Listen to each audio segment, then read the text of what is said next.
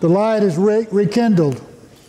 The community known as the Unitarian Universalist Church of Tampa has reconvened.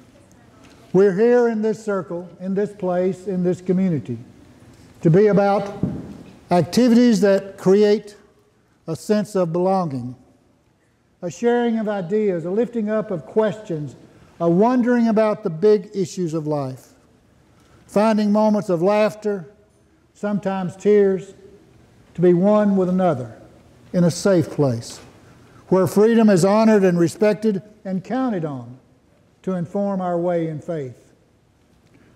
There are a lot of words and language that we inherit trying to, and we try to use them to share what we're about. One of the fads of the last 20 years is called faith formation. And that's an idea that we be about an intentional process by which we look at things that matter, that help guide our lives, that give us some kind of meaning, give us some kind of sense of self worth and direction for our lives. So, in good measure, what we do on Sunday morning is a celebration of life, but it's also a reaching and a performing of faith formation as a community. I'm charged to think for you. I'm charged to be smart enough to figure out what y'all want to hear. Sometimes I get it close and sometimes I don't. That's the magic and the alchemy of a community of faith. But my challenge is always to bring to you some notions and ideas that will help you in your formation, in your growth, in your examining of life's questions and the dilemmas that you face. It's on the job training. There are a few manuals around, but they always have to be applied through our experiences, through our skills, through our weaknesses sometimes, and through our tragedies. But through it all, may we find hope and may we always find love to share each one in this process. It's an ancient thing. It goes back to the Old Testament, I suppose, for us in the Western Hemisphere. The creation story, where it is said that on the seventh day the Creator rested.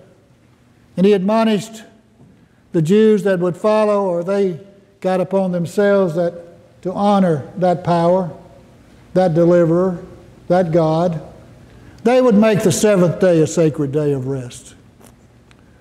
Well, that informed so much of what became Christianity and what became the organized world of the West.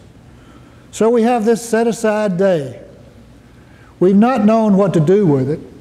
Actually, if you know your history and if you look at it pretty close, the Sabbath and the recognition of religious days are, have always been really in the minority.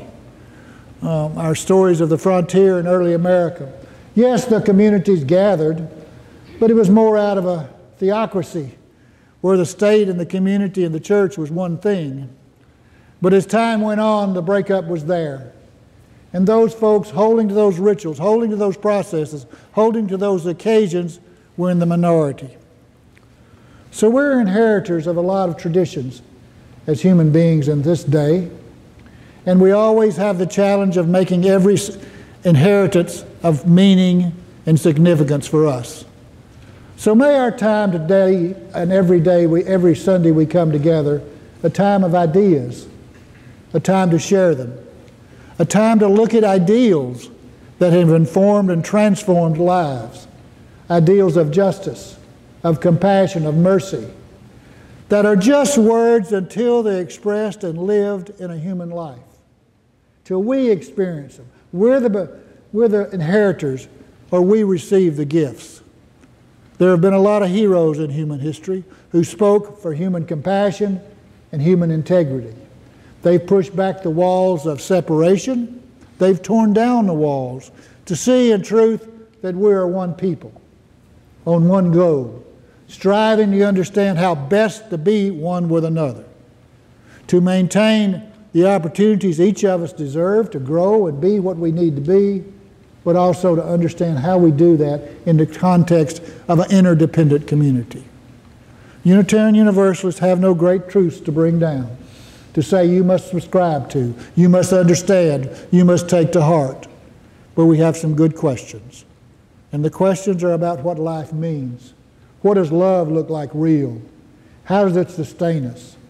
What are the opportunities to understand wider and deeper about the differences in our world? How do we bridge gaps? How do we bring differences together in a common understanding? Those are big challenges. Sometimes I think it's a lot easier maybe to hide in truths that can't be assailed rather than say, what are we going to do now? We're at this juncture on this path in this life. Today, around the world, there is destruction and war. There's hatred and division. There are lies and greed. There's corruption and abuse. We live in that. This place is not a place to escape from it, but to pause for a spell to renew those ideals that can help us deal with it, to find purposeful means to address those issues, to be an agent for good in the world where that's a hard place to be, sorting out the choices to make, the good choices. And we always do that with humility and with a tentative nature because we cannot be sure. We're truly walking in the dark sometimes, making the best guess that we can on how to behave, how to believe, and how to hope. Welcome to this celebration. May it be a time of growth, of learning, of remembering, and of hoping.